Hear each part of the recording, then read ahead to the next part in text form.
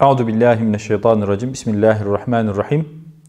Adak e, esasen bir kişinin e, kurban adamasıysa adamış olduğu kurbanı, e, maddi bir şeyse e, bir bedel ise o adamış olduğu bu bedeli kendisine hiçbir şekilde menfaat olmaksızın Allah rızası için e, tasadduk etmesi veya kurbansa da kurbanda irakayden fiilinin yerine getirilmesidir. Onun için bir kişi herhangi bir şeyi adadığı zaman da o adamış olduğu şeyi yaparken kendisine herhangi bir menfaatinin dönmesi veya menfaatinin dönmesi niteliğini taşımaması gerekir.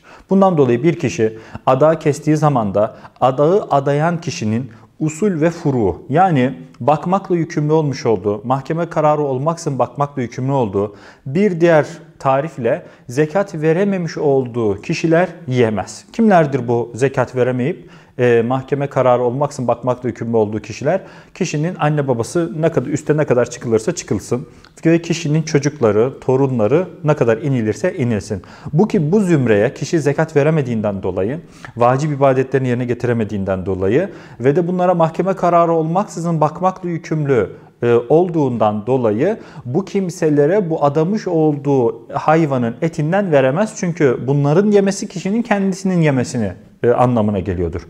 Bir bu zümre yemez. İkinci olarak da adamış olan, adanmış olan bu adı zenginler yiyemez.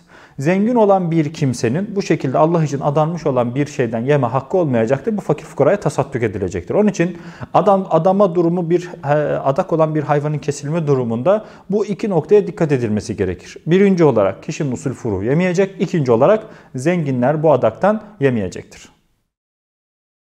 Allahümme salli ala seyyidina Muhammedin ve ala آل سيدنا محمد